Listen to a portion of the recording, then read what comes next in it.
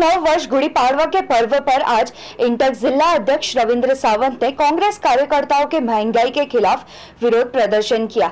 यहाँ नेरुल में महँगाई की गुड़ी उभारते हुए कांग्रेस कार्यकर्ताओं ने सिलेंडर के साथ ढोल ताश बजाते हुए नारेबाजी की।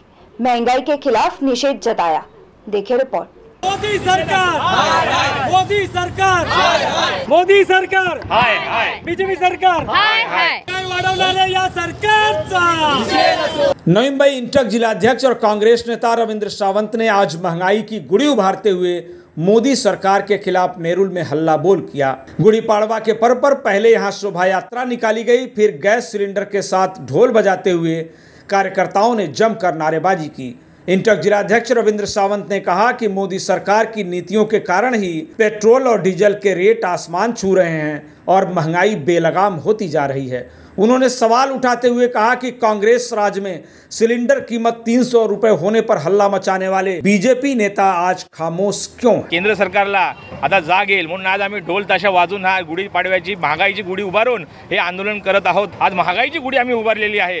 केंद्र सरकारला कधी जाग येईल माहीत नाही. हे फेकू सरकार आहे लोकांना गाजर द्यायचं काम करत आहे. आज आपण बघता पेट्रोल डिझेलचे वाढ तर प्लस सिलेंडरचे वाढ लोकांनी जगायचं कसं? ही फार परिस्थिती भयानक आहे. म्हणून आम्ही केंद्र सरकारचा आम्ही निषेध केलेला आहे. या मोदी सरकारच्या खासदारांपर्यंत मंत्र्यांपर्यंत जाग यावी. आज महिलांना घर चालवणं खूप कठीण झालेलं आहे. इन्कम कमी आणि आउटगोईंग जास्त झालेली आहे.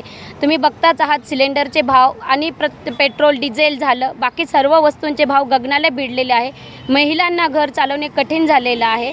स्मृती इराणी ज्यावेळेस बी काँग्रेस सरकार होती त्यावेळेस साडेतीनशे रुपये सिलेंडर होता. त्यावेळेस त्यांनी आंदोलनं केली होती स बरेचसे निदर्शनं केलेली होती. आता त्या झोपले आहेत का? त्यांनाही जाग यावी. हा जो महागाईचं डोंब उसळला आहे त्यांनी कुठलेही विचारात न घेता अगदी सर्वसामान्यांना त्रास देता येईल. तेव्हा सर्वसामान्यांनी पण विचार करावा की काँग्रेस सरकार असतानाचे रेट काय होते? फक्त अफवा पसरवल्या आणि काँग्रेसबद्दल कसंही बोललं म्हणून अविश्वास न दाखवता आताच जागं व्हावं स- bureau report, TV one India.